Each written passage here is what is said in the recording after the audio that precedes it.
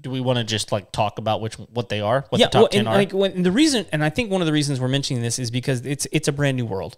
Yeah. Um, you know, and and so so many people have the opportunity to live wherever they want to live Mm-hmm. because they can. Most companies are offering the opportunity to work remotely if you don't have like a labor intensive job, Right. Or like you you have to like go into customers' houses and you need face to face time and you have to physically be there.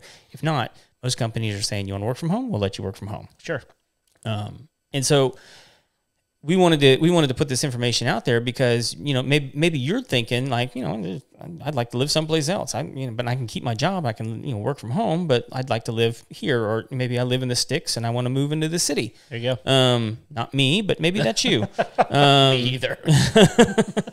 so anyway, and and so and so it's not none of these are rural places. No. They're all metropolitan areas. Yes. So do you want do you want to just kind of go go Yeah. down, go through the list? Okay. You